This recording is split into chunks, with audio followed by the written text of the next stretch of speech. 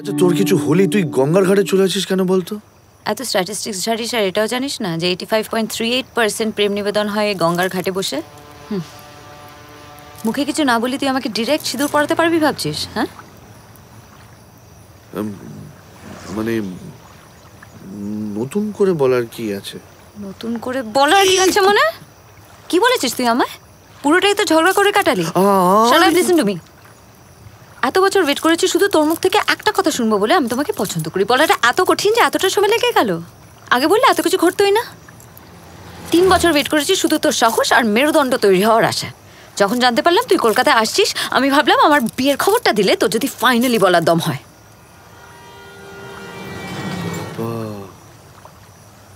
তুই এত স্কিমবাজ।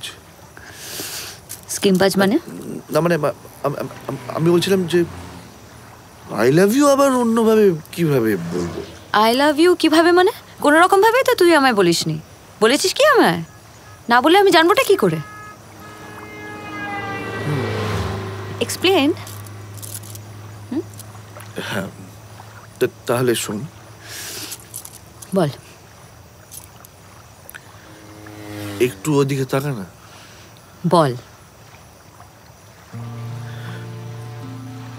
এতদিন আমি বিশ্বাস করতাম যে তুই আমার থেকে বেটার ডিজার্ভ করিস।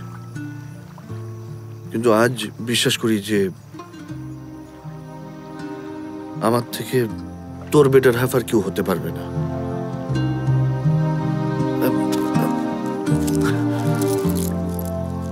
লাস্ট তিন বছর এটা পকেটে করে নিয়ে ঘুরছি। তোকে দেবো বলে।